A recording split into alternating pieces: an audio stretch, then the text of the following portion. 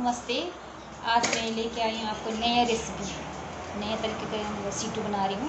कुल्लू मनाली में तो आप आए होंगे, सीटू खाए होंगे आपने, कई किस्म के सीटू। और मैं आज बना रही हूँ मतलब कि भाई कुछ नया तरीके का सीटू बना रही हूँ। तो आप देख के सोचेंगे मतलब ये क्या चीज़ बना रही है। मैं पूरा कंप्लीट हो जाएँगे तो आपको दिखाऊँगी किस तरीके से बनी है ये। और जो भी मैंने मसाला तैयार किया, मैं सब कुछ कुछ बताऊँगी आपको। सबसे पहले मैंने लिया ये आटा। ये सीटू के लिए आटा अलग से मिलते हैं हमारे बाज़ार में यहाँ। यहाँ पे अलग से सीटू बनाया जाता है, सीटू के लिए जो आटा जो है, अलग से मिलते हैं। देखिए कम से कम डेढ़ किलो करीबन फिर उससे थोड़ा कम होता तो इतना मैंने आटा लिए, क्योंकि हम खाने वाले भी कम हैं तो कम ही बनाएँगे। तो इसमें मैंने ये देख सकते ये ब्रेड मसाला हमारे यहाँ पे तो यहाँ लोकल भाषा में हम लोग यहाँ हिस्ट बोला जा बोलते हैं तो हम इसको ब्रेड मसाला बोलते हैं। तो आपको क्या, आप लोग क्या बोलते हैं इसको तो कमेंट पे ज़रूर बताना आपने, ये क्या चीज़ है, ये देख सकते हैं आप, ये मार्केट में मिलते हैं। इसको मैं ज़्यादा यूज़ नहीं करूँगी मतलब चम्मच इतने कर मतलब एक बड़ा चम्मच हल्का से डाल दूँगी मैं। और मैंने एक चम्मच नमक लिए है इसको मैं अच्छी तरह हाथों के साथ मिक्स कर लूँगी। मैंने मिक्स कर दिया है। आप लोग सोचेंगे, ये क्या चीज़ बना रहे, कैसे सीटू बना रही तो मैंने बताया आपको। और ये सीटू मैं जगह यूनिक तरीके से बना रही हूँ। तो हम लोग घर में खाने के लिए बनाते हैं ऐसे तो मैं बोला, आज चलो मैं ट्राई करूँ। तो आप लोगों को बताऊँ। और ये देख सकते हैं, मैं सीटू में डालने के लिए मसाले अंदर नहीं डाला, ये बाहर से डाला जाएँगे, ये बाहर से मतलब जब सीटू तैयार होंगे तो बाहर से दिखेगा मतलब कि भाई बिल्कुल यूनिक तरीके से अच्छी मतलब फ्लावर की तरह दिखेगा आपको। मैंने लिया ये गुलाब, जो हमारे यहाँ पे आज का पत्ता है आपको आज काफ़ी गुलाब बेल लगे होते हैं, नीचे गिर जाते हैं पंखुड़ियाँ तो इसको बेस्ट नहीं करते हैं। कभी कोई चटनी बना लेते हैं, कोई कुछ ना कुछ बना के खा लेते हैं इसको। तो मैंने ये मतलब ऐसे गुलाब के पंखुड़ी मैंने बहुत ज़्यादा वीडियो बनाई हूँ, कोई पकौड़े तो कोई बड़ा कुछ बनाया हो तो आज मैं ये सीटू में यूज़ करूँगी। लहसुन के पत्ते। बिल्कुल चॉप किया ये देख सकते हैं आप। बिल्कुल चॉप किए हैं ये। और ये चाइनीज़ प्याज ये चाइनीज़ प्याज के जो पत्ते छोटे छोटे पत्ते होते हैं, इसका मैंने ये भी बिल्कुल चॉप कर दिया है। तो ये मैंने लिया पुदीना। हल्का सा ये पुदीना लिया जब खाते हैं तो आप बिल्कुल मुँह पे लगते हैं तो बहुत अच्छे लगता है ये। अलग अलग फ्लेवर आएँगे आपको। और ये मैंने पालक जो हमारे यहाँ पे जो बड़े बड़े पत्ते जो होते हैं, पालक, ये भी चाइनीज़ प्याज ये पालक के नाम से जाना जाते ये भी मैंने थोड़ा सा ये भी चॉप किए हैं और ये प्याज क्या, ये प्याज भी मैंने हल्का सा थोड़ा चॉप किया हुआ और गुलाब तो मैंने काफ़ी ज़्यादा लिए हैं। तो ये मैं सारा कुछ आटे में डाल दूँगी इसको।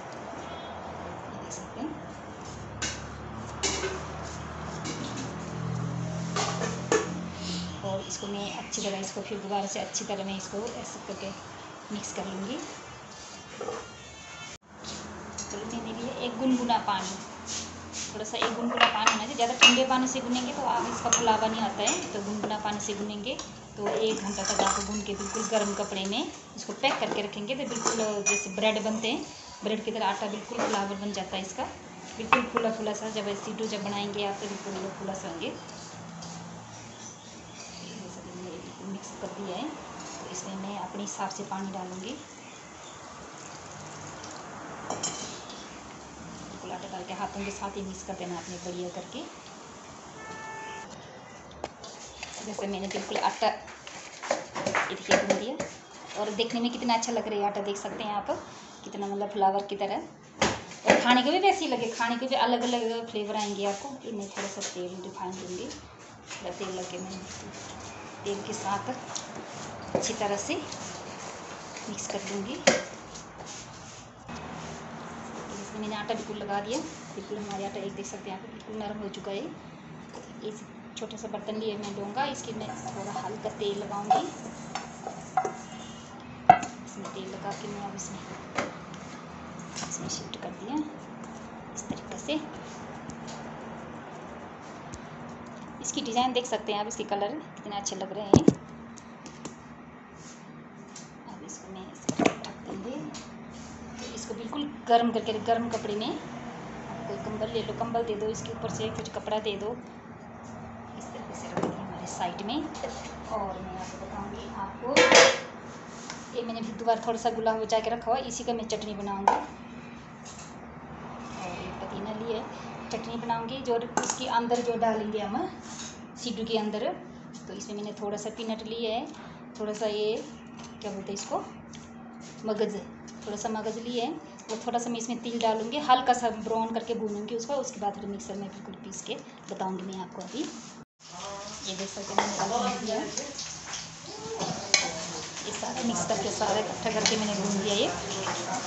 इसका भूनने से क्या होता है कि मतलब खुशबू अच्छी आती है इसका भूनने से। जल्दी दे दे उधर जाइए मैंने ये भून दिया।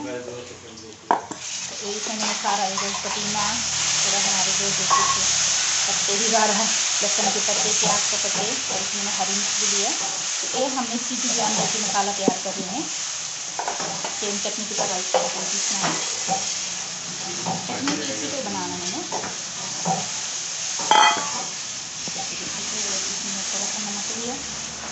थोड़ा थोड़ा सा अजी नमक करके नमक सीटी के डालने से मतलब इसका खुशबू अच्छा आता है। खुशबू क्या मतलब टेस्ट रहता है ना ये मैं डाल दी बोलना बोलने के लिए थोड़ा हो जाता है। मिक्स हो जाता है, कुछ कुछ और बोलना था कुछ और बोल देती हूँ। इसके लिए सॉरी देखा देखते मैं पीसेंगे अब इसमें सारा मसाला नहीं डालते, इसमें हम ज़्यादा पानी नहीं डालेंगे बस थोड़ा ही पानी डालेंगे। अभी ज़्यादा गीला हो जाएँगे फिर ना, ये थोड़ा ज़्यादा घनी घनी होना चाहिए। ये मैंने पीस दिया अब इसमें डालूँगी मैं थोड़ा सा गुलाब। गुलाब पंखुड़ी। थोड़ा फ्लेवर के लिए।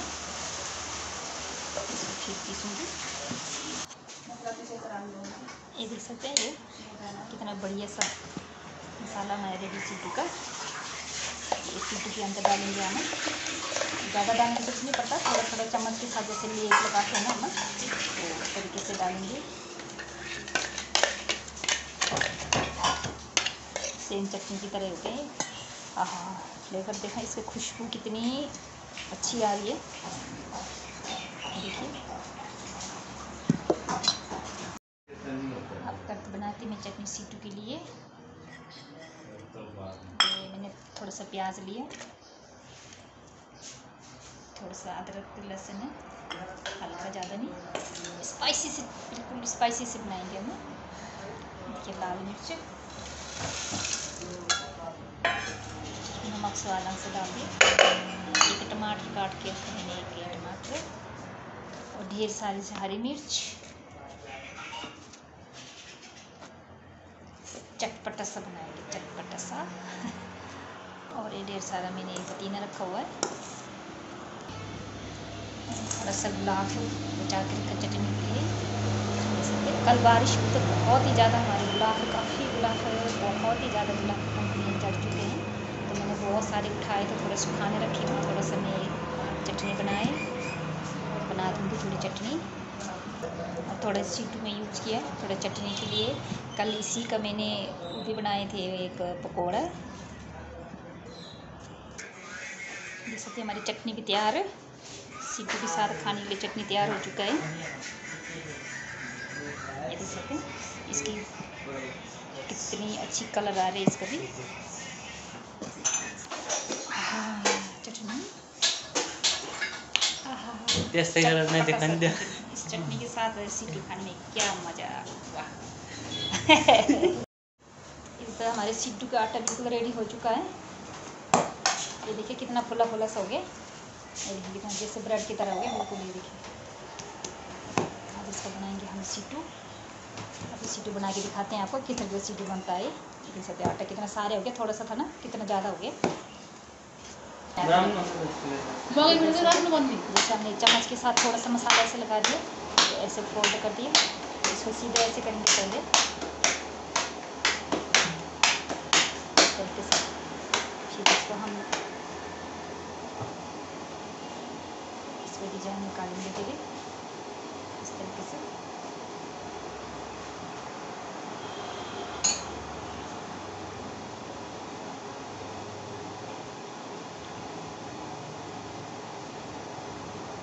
सीट बन के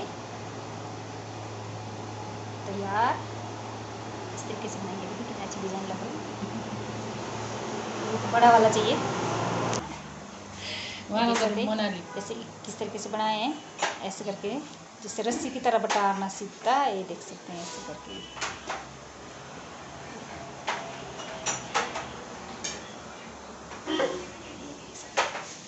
देख सकते हैं हमारा इस तरीके से मुँह में देखिए डिज़ाइन ऐसा सीता हमारे कितने अच्छे डिज़ाइन आ रहे हैं देख सकते हैं इस तरीके से लास्ट में सॉरी मोमोनी सीडूला सीडुए ऐसे कितने अच्छे डिज़ाइन आए हैं हाँ, बोलने में कुछ और बोलना था कुछ और बोल देते हैं सॉरी इसके लिए माफ़ करना